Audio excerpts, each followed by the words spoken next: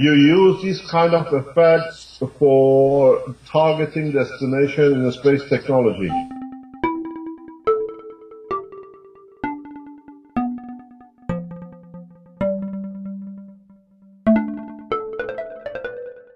So when you reduce, when you take so many atoms out of your cylinder, you allow the very few uh, plasmas which are outside the tube to open up. And in opening up, uh, you allow the energy transfer across. In fact, if you, I, I usually explain this kind of things is like um, you have a solar system inside and uh, you create another vacuum solar system outside and the solar systems interact with each other and that's even how we see the color of the earth or the color of the uh, solar systems it does not come so much of the production of the material. This is coming up in the book number four. I've explained it in a very detail. Even what they say what you see there as a blue color it's uh, it's a wrong conception that we say the sky is blue because of the color of the water or the water is because of color of the sky. The color of the earth or any other planet comes from the interaction of the uh, magnetic gravitational field of the internal matter, which is earth inside the pores, and gravitational magnetic field of the gases which are around it. You understand? Mm-hmm. So even the, the the strength of the shine of the let's say the star, it depends on the plasma strength on the top layer, which interacts with the gravitational magnetic field of the plasma internally. So it's exactly the same as when the light of the, the gravitational magnetic field of the Earth hits the gravitational magnetic field of the sun. We have a daylight. That's that's the interaction. This is when you run your reactors in a space level, the gravitational magnetic field of your system with the Earth creates a light around your reactor, around your craft. This way you create it in reverse. By vacuuming, you take layers off, now the plasmas can interact. So in interacting, your plasma inside your tube opens up to uh, the, the external tube opens up, so it has a time to interact with what you have inside, and you see the change of the. In reality, it's still there, but now you allow different combination of interaction of the fields of the few plasmas you leave inside. You see this if you change your gases or mixture of gases, then you see different colors, and that's why we see different planets in different colors different stars in different strength. We are showing physicality what we see in universe now for the first time. We, under, we can explain it scientifically. Yes, that's right. We want to uh, experiment with some different gases, even with our crude setup here, just to see the different colors that uh, come out of it, so we have some understanding about that and and how how that works. It's a uh, uh, we realize that high voltage is not the way to go with your reactor, but at the same time, it's a, a, good experience and a good education to play with it a little bit, just to see what happens with uh, with voltage in, in, a vacuum chamber, and it's quite amazing. It's been an eye opener for me to to just be able to see that. This is what that guy shows, and everybody thinks is magic. But what it does, he We, we, we could do the same thing in this chamber very easily. It's not, it's not. It's very interesting if I show you something to do. run your reactor again, run the same chamber again, uh-huh. and put some magnets around your chamber opposite each other. We already have a magnet underneath here. Uh, ring magnet is actually in the bottom of the, the chamber. Yeah, yeah, put your ring magnet on the side and you see the shape and how you can change gravitational field on it. It'll be very interesting if you can see it. that we experienced that like a couple of weeks ago. Yeah, we've had some uh, experience with that, with uh, putting magnets on and changing magnets and so on. And I also have, uh, I've, whoops, I've got this arrangement here too, which is kind of handy, which is a it's a motor. It's a Subaru uh, blower motor from a car, a heater motor. But I've got six uh, neodymium magnets in a flywheel here. In uh, it's mounted onto it, and we can put that right on the top of the reactor and create magnetic fields in the reactor and actually have a magnetic drive on the other side of the uh, polycarbonate. Inside the. So I'm able to drive magnetically the the uh, plasma ball, for example. So we do we are playing with uh, magnetic fields, and but a lot of times I find that the magnetism isn't affecting the the plasma really. Like when we take the plasma ball like this one, and we hold a magnet up to it, while my hand will make more of an influence, will have more of a effect on the plasma than a magnet will generally. Can you show it? I'm going to explain to you why. Okay. Here's a, a big, big honking uh, neodymium magnet here, for example. And when we put it up to here, it doesn't. Kill the light. Okay. Yeah. Put the finger next to it and see the difference between the two. Yeah, okay, and do the other one. This exactly shows what I was explaining to you.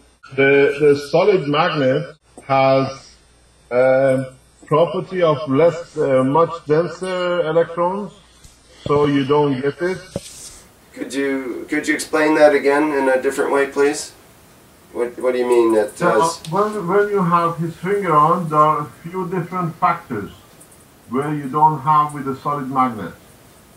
First of all, the body is a current generator because you have a blood, which is a magnetic flow itself, and uh, the shape of the flow, if you look, is very much near to his heartbeat. If you see it, Well, it seems that way. Yes, I do. It's Yeah. uh, This is the this is the current flow of uh, one with another. You understand?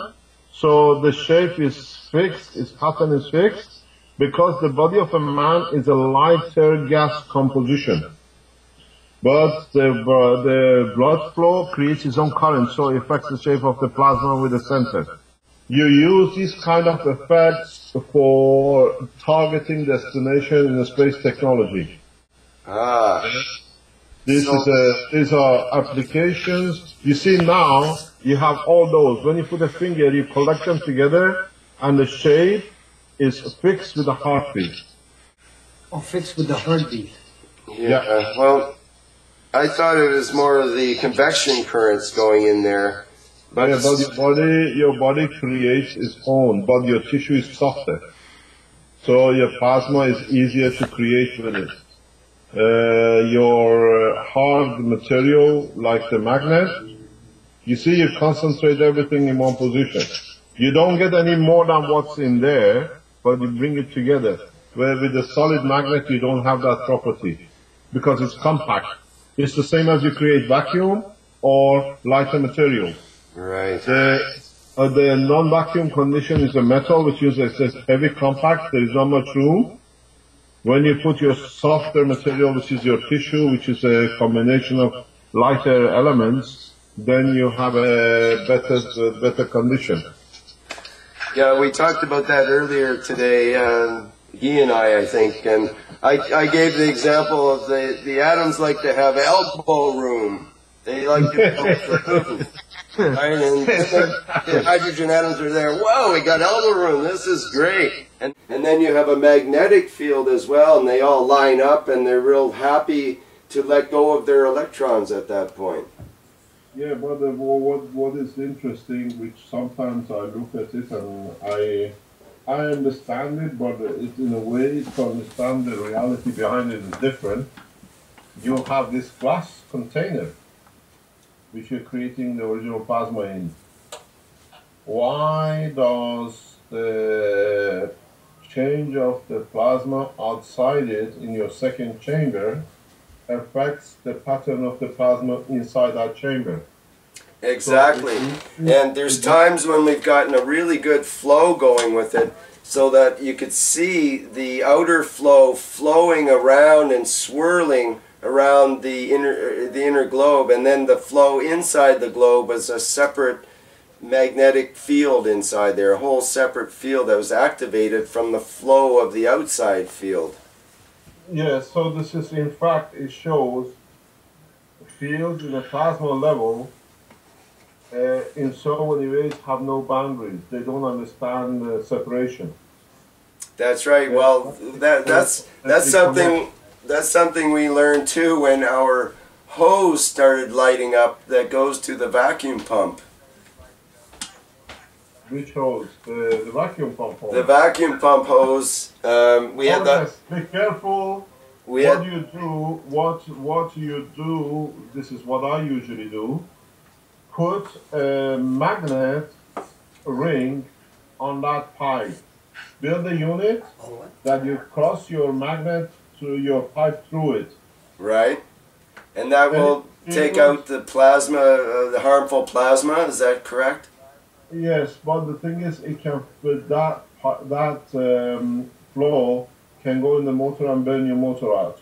I wondered about that because uh, it didn't look like a good thing to have a two feet of green hose But the thing is, happening. You don't, see, you don't see the whole pipe lining up, and the length of it does. That's right, a couple of feet. And if you were to touch it, it would light it up stronger. It makes it brighter.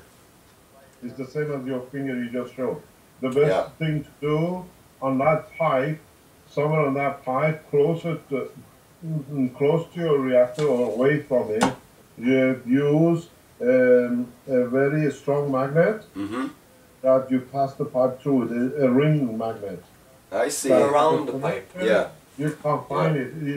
it. We did try putting a magnet up close to the pipe, like squishing it a little bit with the magnet, and it seemed to sort of amplify it a little bit even.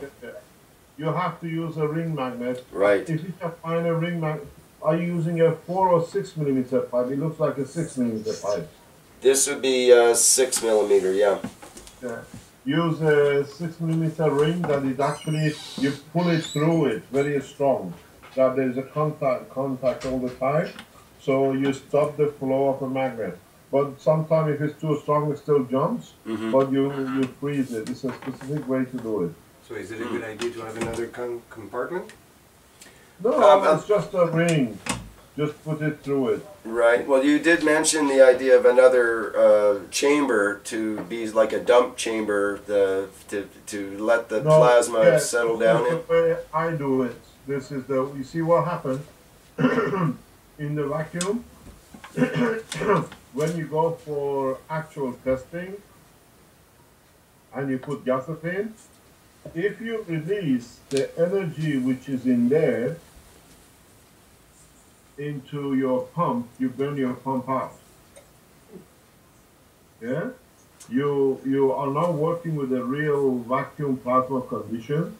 When you work with a real plasma condition and you're in a dynamic, you open uh, the what you call the transition levels. You never get to the principal level.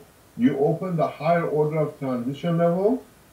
By the time the the, the transition level comes to find its um, new parameter, it releases a lot of energy, a lot of magnetic field beyond it to find its balance. And then this surplus magnetic field, the gravitational field, when you suck it out, it goes into your pump, and you find all the plastics in your pump become uh, like the chewing gum. Oh yeah.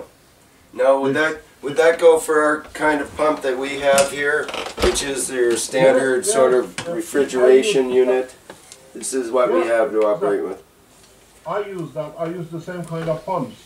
But the best thing is to connect this pipe into a five liter cylinder, probably not stainless steel, but a steel container, a cylinder. Yeah. As opposed to um, um, we have a I've got an aluminum uh, uh, what do you call it uh, pressure cooker I picked up here.